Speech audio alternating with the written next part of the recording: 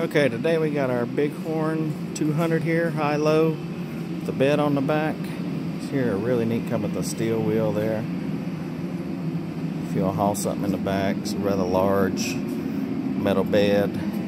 Tailgate actually unlocks and folds down. In the back, you got the rear independent suspension, it's a transfer case. Then you got a trailer hitch right there, so you can put a receiver hitch in adjustable coilover shocks, knobby tires. Comes standard with a roof. You got a bench seat. Fold the bed down. You got the lever here to fold the bed down. There you go. The bed's folded down. Engine is right there. It's also under the seat. And there's a storage bin over on the right hand side of the seat. The seat just pops up. See there's a storage bin there and there's the rest of the front of the motor gas tank on this side. Lots, lots of room in this thing. There's your park brake. You got drink holders on both sides. A little horn.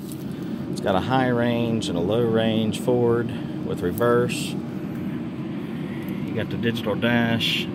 Shows your fuel, what gear you're in, how many miles, mile per hour, and uh, battery life.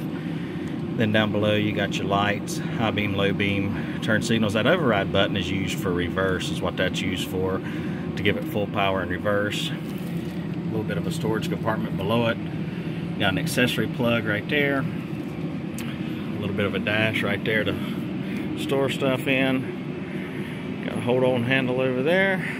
Got your seat belts, headrest. Place to mount side mirrors. You can get a side mirrors and windshield for this and uh, front turn signals. It's also ready for a winch in the front. I'll show you the suspension on the front of it. MacPherson strut. A lot of ground clearance to this unit too. If you're looking for a light duty unit, this is going to be the one for you. Just a really nice machine. Thank you and God bless you.